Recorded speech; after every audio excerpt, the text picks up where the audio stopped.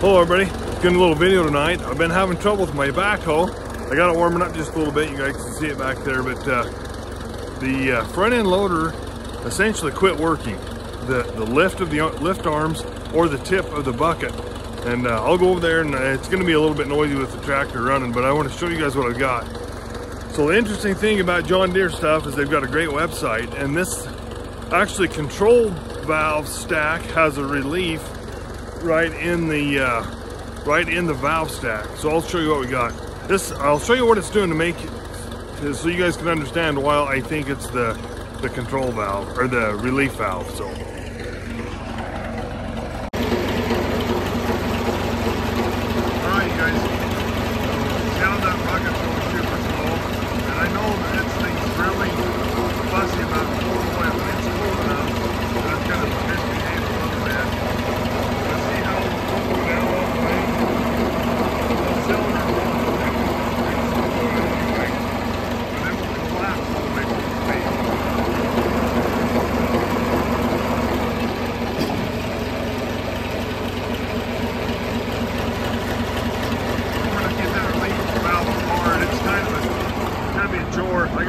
cover off and get down in there and there's some bolts that hold that back on. I'll show you guys what it looks like when I get on board. Okay guys, here's the relief valve.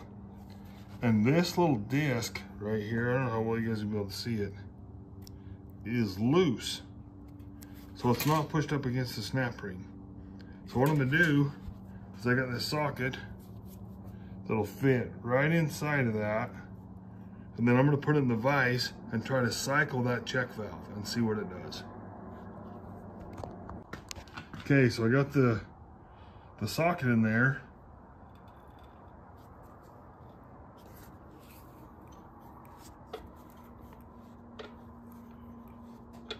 You guys can see that cycling just a little bit. So I don't know how much travel that thing's supposed to have.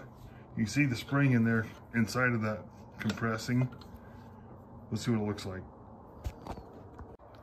So this little uh, disc right here is still loose. I might try to cycle one more time, see what it does. All right, so that, that disc is still loose. And my thought is, is that should be resting against it. So, and I can't put enough pressure on the vise to compress that. But bear in mind, that relief is set at 2,600 pounds. So that's a pretty bad A spring inside of there. So I, I thought about if I pull this apart and could see something obvious wrong with it, like it's plugged full of dirt or, or plugged open or something, I might clean it or do whatever and try to put it back in. I don't think I'm gonna. I'm supposed to have a new one here tomorrow. So I think I'll wait and we'll put the new one in tomorrow. To be continued. Well, hello everybody, just calling from work. And uh, my new hydraulic valve for the backhoe showed up today. They said this thing was shipped from Europe, if I understood what the guy said. Took about 10 days to get it here. Said this is the only one in existence as far as his computer system goes. So that's the trouble with running 50 year old equipment. But hopefully it works. Uh, got my headlight on as you can see and it's cold and dark outside, but we're gonna go give it a shot. See if we can get this old girl running again. So here we go. Okay, so what I've done, there's the valve stack for the loader controls. I've had to kind of dismantle this uh, this linkage for the control system. And there's like three bolts underneath there. Can't see very good, but there's three bolts that bolt the stack to this heavy bracket. So I just unbolted them three bolts, took this linkage off, and was able to slide the valve stack without disconnecting any of the hoses, and then reached through this hole right there and screwed that relief valve in. So there's the new relief valve. I'm gonna just set the phone down, screw that guy in, and then we're gonna hopefully have the backhoe back in action. All right guys, well it's, dark and cold, but I got that uh, relief valve in and I think it's working. Of course it's below freezing out here. I don't know what the temperature is, you know, 10, 15 degrees. And this old backhoe, always the hydraulics are really sluggish when it's this cold. But but I think, you know, earlier in the video, bear in mind, I took that earlier part of the video like almost two weeks ago, but um, the hydraulics are barely even moving. And I think what I'm gonna do is I'll show you what the hydraulics are doing right now, and then I'm gonna get on the tractor and go grab a couple bales of hay and see how it lives. But anyway, I'll put the camera around.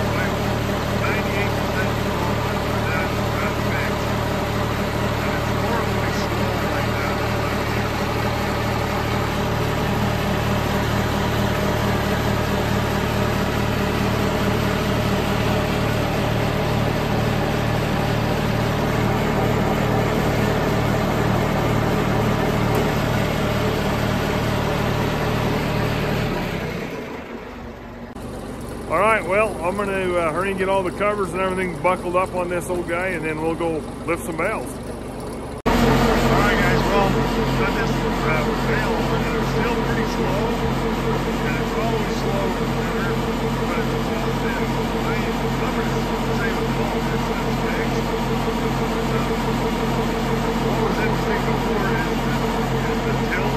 is, is the smooth, and it's moving really good right now. Of course,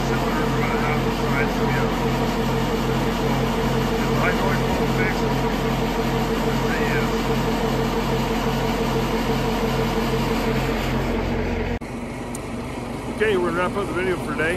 Uh, hopefully this will help somebody if they're running one of these old uh, 300Bs. It's a great old backhoe.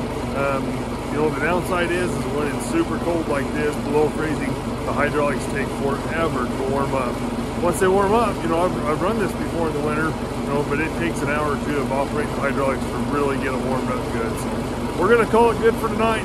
Thanks for watching, everybody. Please subscribe.